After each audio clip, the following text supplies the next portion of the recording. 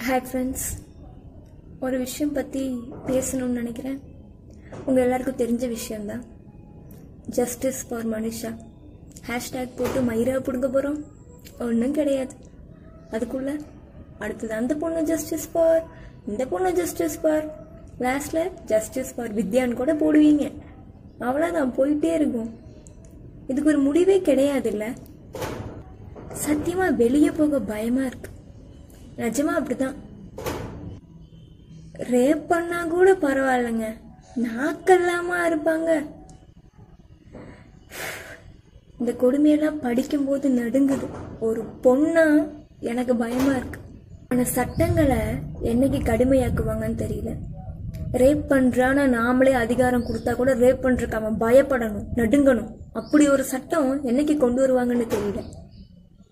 மற்ற நாட்டில் இருக்கு அது இருக்கு இது இருக்குன்னு நான் இங்கே இருக்கவங்க பெருமையாக சொல்லிட்டு இருக்கமே தவிர ஒன்றும் கிடையாது இங்கே. பயந்து பயந்து பயந்து பயந்து நாங்களாம் இப்படியே இருக்கோம். நீங்கள் எங்கள் ட்ரெஸ்ஸையும் அது இதையும் குறை சொல்லிட்டு மற்றவங்களும் இருங்க. நல்ல ஆம்பளைங்க இருக்க நாட்டில் இருக்கிறவங்களுக்கும் கெட்ட பேர் தான். என்ன பேசுறதுன்னு தெரியல. அசிங்கமாக இருக்கு.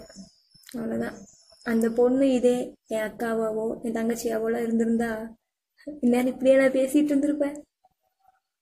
எனக்கு வரும்போது தான் எனக்கு தெரியும். எங்கள் வீட்டுக்காரங்களுக்கு இருக்கிறவங்களுக்கு தெரியும். உங்கள் வீட்டில் வரும்போது தான் உங்களுக்கும் தெரியும். அவ்வளோதான் சொல்லணும்.